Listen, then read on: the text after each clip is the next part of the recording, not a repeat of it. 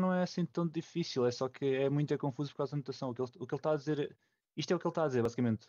Os, os números de documentos não relevantes que, que aparecem antes do D, do, do, do D.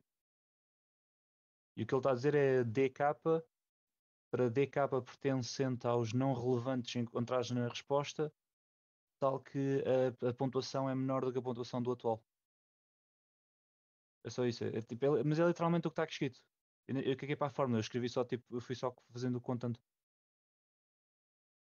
Depois este aqui já é mais, já é mais fácil, porque este aqui já tem, já tem só tamanhos de conjuntos.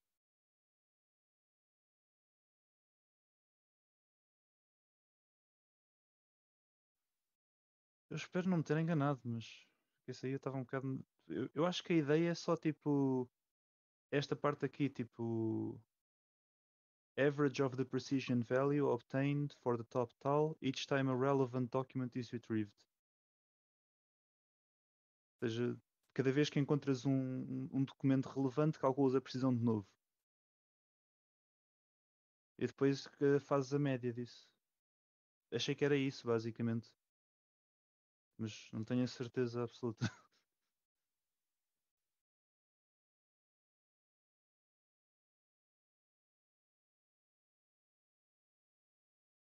Uh, honestamente, é um bocado difícil perceber o que, é que, que, é que as métricas indicam.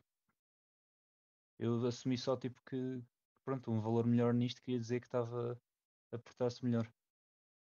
Mas honestamente é um bocado difícil ter noção do que é que os, pronto, que é que os números em si querem dizer, porque são uma métrica um bocado. Provavelmente terias que ir ler as provas matemáticas.